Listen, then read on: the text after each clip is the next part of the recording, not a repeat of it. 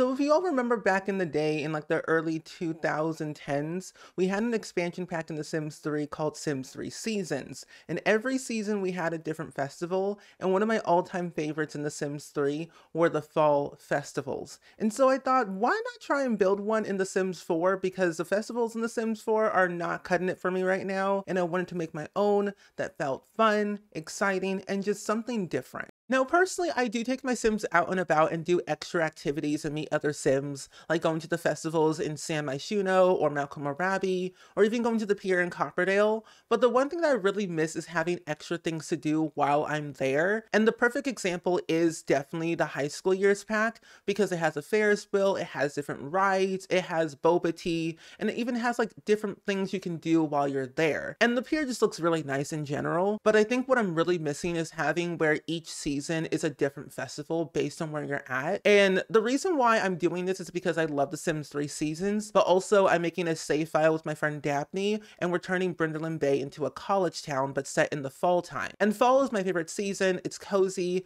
it's nice, it reminds me of Gilmore Girls. I watch that show literally every year around like the, you know, winter, fall season, all the way through, and it just gets better and better over time.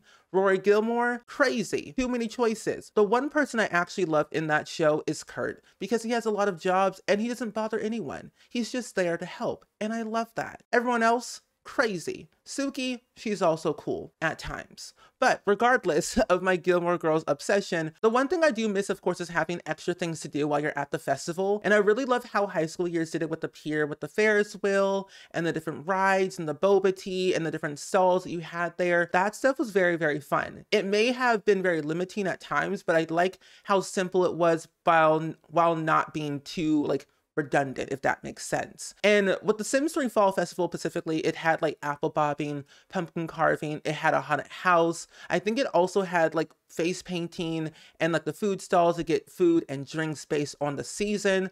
And it would appear and then disappear after the next season was there and gone, if that makes sense. Like we had the summer festival, we had the winter festival, we even had the spring festival. We had flowers, we had all these like cool, fun related things that I really, really miss. So I think what I'm going to try and do is recreate the Sims 3 festivals in the Sims 4 so that way we have a fall, spring, winter, and summer festival. And then I can upload them all to the gallery for you all to download for your own designated game. And I will say I'm using all the packs to my disposal. That way I didn't let my creativity be limited on what packs I was using.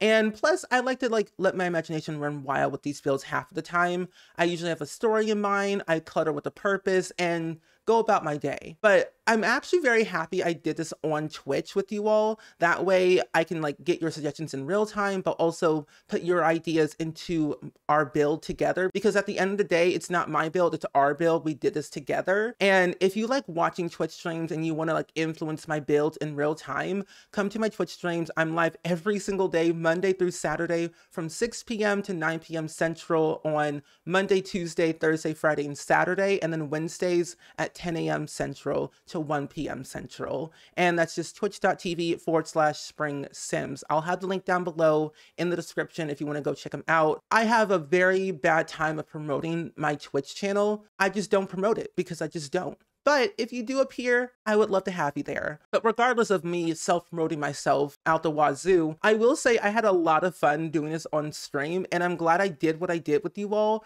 because normally I don't build like this all the time and usually all my builds are very simple, but I'm trying to step out of my comfort zone more with community lot builds and residential builds by having two houses on one lot or making them residential rentals or haunted house residentials or just anything in general that I don't use all the time. And making a festival based on a season in The Sims 4 is very exciting because I really loved how The Sims 3 did it with all the things you could do with the apple picking and then the pumpkin carving and then the haunted house. Like that stuff is very, very fun. And to be honest, you could make it work if you have the paranormal stuff pack, make a house, a haunted house residential, and then kind of build that like your festival around that if you want to do it that way. But another way I could have done this is making my own little haunted house by using the stuff from paranormal and spooky stuff and some of the other like Strangerville packs too that have spooky things in there. But I think it'd be really cool if they could upgrade and like enhance some of the other cults in the game. Like ghosts, for example, are very like meh right now. I mean, you're a sim and then you die and then you're a ghost. You have nothing to do. And there's no benefit of being a ghost in the game like we had in the past. And so if they did like a refresh of Ghosts by giving them a skill tree, more things to do, and also having a proper graveyard because we do not have graveyards in The Sims 4 at all. Your Sims are alive and then dead. Their grave is wherever they land, which is never a good thing because sometimes you're like searching for generation like 19's grave in like who knows where and you can't find it. They're just lost forever. And you can't get the graves unless you have like a mod by Little Miss Sam, which I will also link down below. Very helpful if you're on PC and Mac. Console players, I'm so sorry. But I wish there was a way we had a designated graveyard where if Sims were going to pass away soon or something like that, we had a way where we could put their grave there and like, you know, dedicate that space for them only. Whether they're rich or poor, they have their own crematorium or, you know, thing to place them in. Like think of the Salvatore family from Vampire Diaries. They have their literal own crypt of all of their ancestors, even their own grave, which is even crazier to think about. But also the originals with the whole, you know, little graveyard there. I love that place. It's so spooky, so great. And if we had that in The Sims 4, it would make the ghosts more exciting, but also making these little fall festivals, spooky Halloween type of things more scary. I don't know. But if we had upgraded ghosts, I would love it. But let me know in the comments below if you would love to see more like different type of occults in The Sims 4, whether it's fairies or upgraded ghosts, or just a whole new occult that we've never seen in the game franchise in the past 24 years. Regardless of my ranting about occults and other things, I will say this fall festival took me about three or four hours to build in a span of a couple of days, and I could not do this alone. My brain can only go so far for creativity, and I rely on you all to give me ideas and suggestions of what I should put here and there and everywhere, and you were there from the start to the very end. And I thank you all because my brain noodle is like Delulu on Sulu on Trulu every single day, no matter what I do. But I had so much fun with like crafting all this that I wanted to be able to utilize everything to my disposal. And so I used some of the stalls from Cottage Living that we have in Henford-on-Bagley in that world. And if you have that pack, on the calendar each week, I believe on a Saturday or a Friday, there's like these different fairs. You have one for like the the milk, one for the eggs, the produce, and then I think also one for something else that I can't remember. But I think they're so really cool. And my Sims don't win many competitions or the lottery of any kind because the way I the way I play, I like my Sims being broke, sad, and alone. And I think with them trying to strive for more, I get excited and then I ultimately fail. But having a way where my Sims can win at least one ribbon here at the little fairs, that's all I need. And they've won at least one time, first place, and that is it. Lottery, one time 10,000 years ago, and then never again. But I honestly thought that I could actually put an animal shed on this lot and have it being functional, but then but then I was told that you have to have it on a residential lot for it to function. And like, okay, that's fine. Because the thing that I love about fairs and fall festivals, or just festivals in general, is that there's more things to do. And so like you could have like a little petting zoo of like a cow or a llama or a chicken or a rabbit or whatever it might be. And having those things, they and having those things I would have loved to have. But this animal shed is no longer here. I had to put in like a swing set and some other things to fill in that gap. And it ultimately turned out really well. And I think what I might do eventually, since I'm in my farming era of playing a lot of Stardew Valley, is I might try and make a whole farm in The Sims 4, like a little farm community, because farming is very fun nowadays, at least for me in Stardew, but also in The Sims.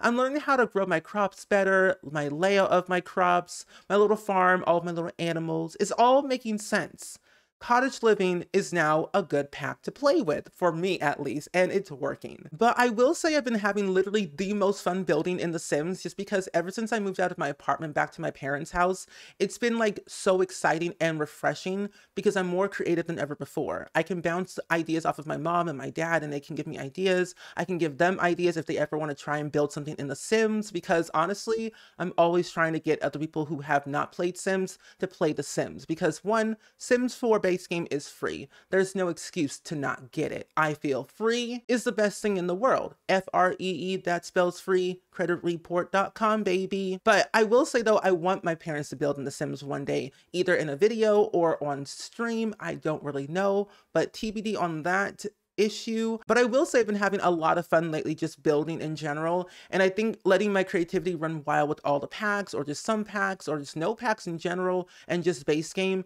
has allowed me to think differently and rely on you all a bit more. But we can also collaborate together on these builds to make it fun for all of us all around the world. And I don't use any custom content in any of my builds whatsoever because one, I believe it's not fair to the people who are on the console, but also two, I don't want to link everything because I'm lazy. So instead, I just use a bunch of debug and things that your Sims can actually use are interactable, but also cool and still fit the game style and are organic to what we're using each and every day. And I used a lot of tool mod to put like the graffiti stuff, murals on the ground, a chess table, some basketball hoops, some bas some basketballs, and some other things around the world to give it some pizzazz.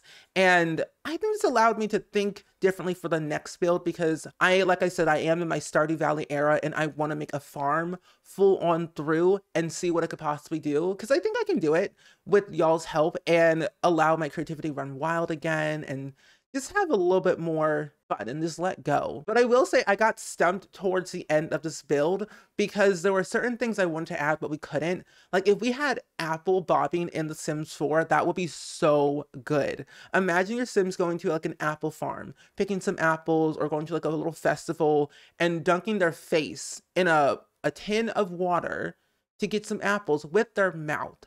I find that quite one wild and two also kind of fun because this allows your sims to one wake up from that cold water get some apples eat some apples and just have a good old jolly time. Now in order for make this now, in order to make this festival very fun and exciting, I wanted to add in like a little kids area. And of course, kids can go on the Ferris wheel and, you know, play on the swing set and the ball pit and like do some pumpkin carving stuff activities as well. But I wanted to add in where if you don't have seasons, it will be a little bit limiting. But if you turn off like rain and thunderstorms and snow, like all the weather effects in the game, which you can in the game options, you can have your Sims come here and watch some movies and hang out and eat some popcorn, you know, do some photo taking.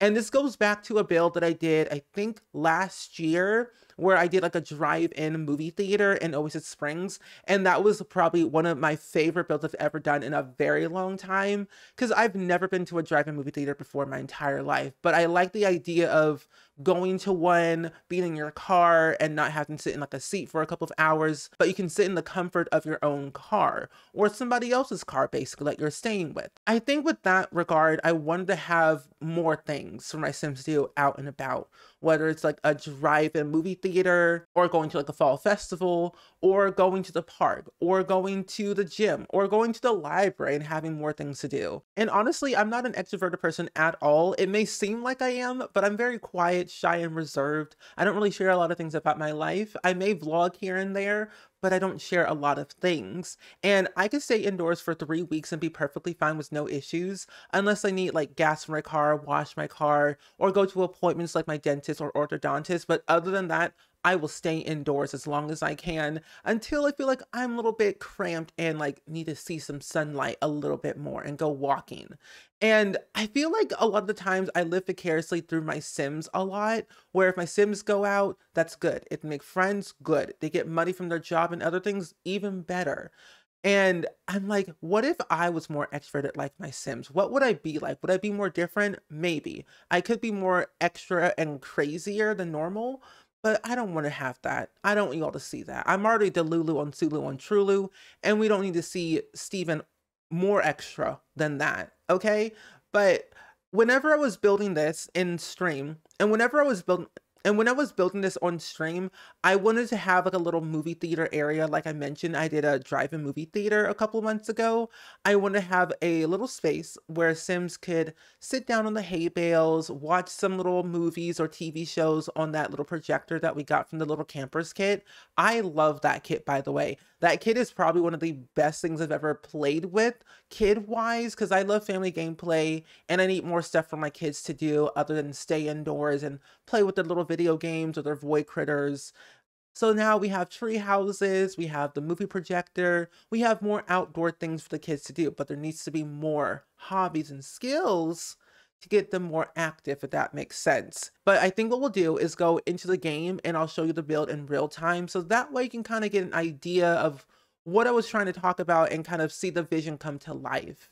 Because let me tell you, speed builds are a lot, but real-time builds are a lot better. I honestly have to say Brindleton Bay is one of my favorite worlds and looking at this in this setting in the fall time makes me very happy and cozy and I want to curl up and wear a sweater and drink hot apple cider every single hour on the hour. But I will say I decided to use this lot because originally the pet park is usually here and Brant and Brent Hecking live over here so you can kind of get an idea of the location. And I just love what I did with this lot, and I'm glad that I did this on stream with you all to give me ideas and suggestions on what to do. And everything is functional on this lot. You have the little garden in the back with all the apple trees. All of these, I believe, are all pumpkins, so you can pick up the pumpkins and then carve them over here, or just simply carve some pumpkins that came with the spooky stuff pack. We also have some stalls for some cupcakes and then some fall drinks and food. I got a little rabbit's home. I got some leaves, a bunch of picnic tables with picnic baskets, and then some, I think, crocheting supplies. So you can crochet whatever you want to crochet. I got some boba tea over here. Of course, you would have to hire vendors for them to come here and like man the stalls, but you can imagine whatever you want to imagine. And the main big thing of this lot that people were concerned about is the Ferris wheel. And the Ferris wheel does work. You can ride the Ferris wheel. You can also ride with somebody if you have someone nearby that you know. And I just love that it does run. It's from Debug, it came from high school years, and essentially everything from Debug that your Sims use will be functional. And I love that. And I'm glad that we still have more debug items that we're getting every single time we usually get a new pack. And the other thing about this lot that I love is this little small area. You can watch movies, you can watch TV shows, you can also do some photos of a normal or a happy one. I even put a little grill over here in case you want to grill something for whatever reason. And then this right here, not functional whatsoever. It's there for the aesthetic, but imagine like, really imagine if we had an option to write a hay bale during like the fall season at a fall festival or just in general. I think that would be really cool, but then that would be coded for like having cars in The Sims 4 and making them work officially. And then over here, we have a little competition area and I put some eggs, I put some milk, and then I also put some produce over here for your Sims to judge, look at, do whatever. And then over here, I thought it'd be a good idea of imagining some type of farmer's market. And I have like these selling tables here. You can put your produce on here. You can sell your stuff, tend to the table, you know, keep up the inventory. Because recently I just started watching Big City Green on Disney Plus and I just finished it. And I kind of got that vision in my mind. And now I low key want to make a farmer's market in The Sims 4 because of that show and just like the Green family are just really cool people in general. I love the show that's still going on, but you know, Little Farmer Spring is coming out alive and well. But on this side, we do have little swing set, we got a dollhouse, and then another tent over here. And over here is the bathroom to do all your little business. We got four toilets, and then we also have three sinks. I could have actually added in another sink right here, but I kind of just forgot about it. But essentially you have all your things right here. And then on this side, we have a little campfire. We also have a little radio and some lights.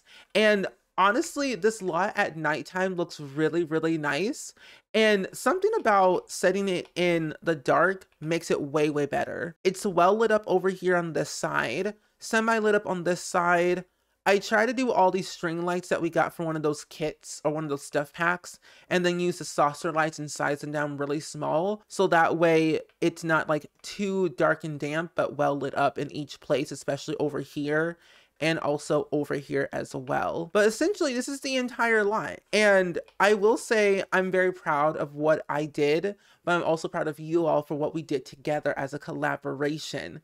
Because essentially, we're all builders in our own natural way and we all build differently, but at the end of the day, we did that thing. But regardless, if you do want to download this build for yourself for your own game, it is on the gallery under my gallery ID, which is just Spring Sims, or under the hashtag Spring Sims as well. But either who, I do hope you all enjoyed today's video as much as I did. Please let me know down in the comments below, which one should I do next? Winter, spring, or summer festival in The Sims 4 related to The Sims 3 because I'm having a lot of fun and I really want to try my best to make each and every season have a different festival. But as always, I do hope you all enjoyed it. Please go ahead and like, comment, and subscribe, and I will see you all next time. Bye!